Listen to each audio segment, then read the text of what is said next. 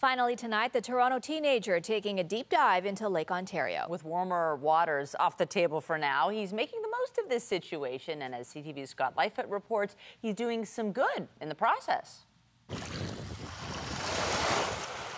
It's a picturesque and popular spot where the city and nature coexist. In cold water like this, uh, warm water regulators do tend to free flow. But for 16 year old Mark Turetsky, the best way to see Humber Bay is underwater. I've been scuba diving since I was 10, but I only seriously got into it during the summer. Diving is something he and his father do on vacations, but with no trips south this year, they've been exploring the Great Lakes. It's like the feeling of flying, and you can uh, move around these uh, shipwrecks and stuff in three dimensions. You know, it's not just like looking at it, it's being a part of it. Humber Bay is where Turetsky and his father did their dry suit training.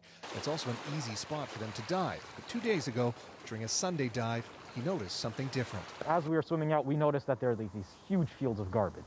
A field of trash now stretched along the lake bed from beer cans to shopping bags, disposable masks, and gloves. I don't really even know the true extent of it, but even what was there, like in the immediate visible area, was like already, like, it's ridiculous. Turetsky says he believes the garbage is litter left along the shoreline and picked up by the wind. Well, uh, definitely there isn't someone uh, coming down there with a big dump truck and uh, specifically dumping there.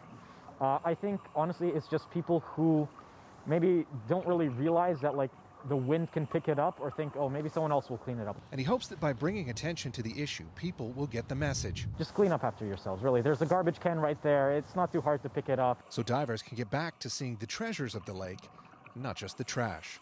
Scott Lightfoot, CTV News.